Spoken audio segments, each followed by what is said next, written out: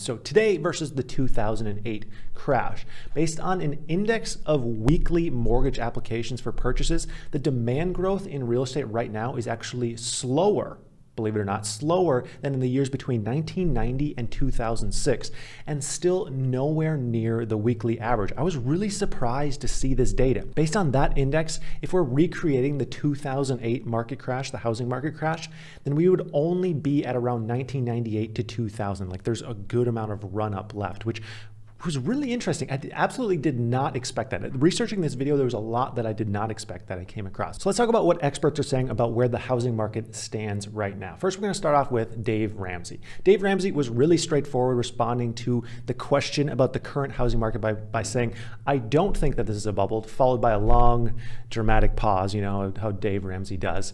And then he said that he thinks the craziness will slow and the rate of the increase in prices will slow, but he doesn't think that it's a bubble that's going to just pop and then everything, you know, flops. Pop, pop, then flop. He doesn't think that's going to happen. He says that it's only being fueled due to the inventory problem and due to the increased demand for lumber and other basic supplies in order to build homes, and the market will simply calm down without some kind of you know, pop, pop, then flop.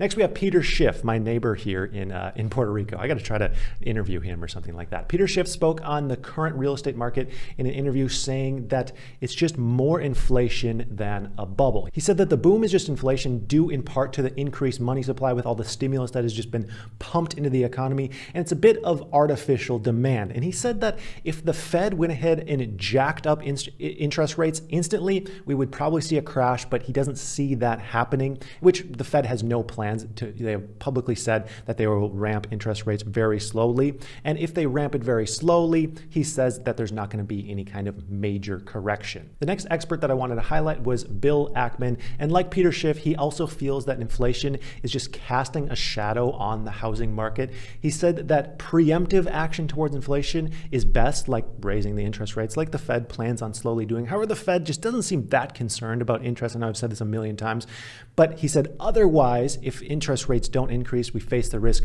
of the economy really heating up, which everyone can agree on. And he also expressed the social and cultural reasons for the market conditions, saying that millennials who can afford a home are doing so, especially after being stuck in a small apartment during COVID, and they're going further to the outskirts and trying to buy homes, which of course decreases the supply, and the prices are going up and up and up for the millennials who can even afford homes. Thanks for tuning in, and if you enjoyed this content, make sure you subscribe to the main channel as well right here.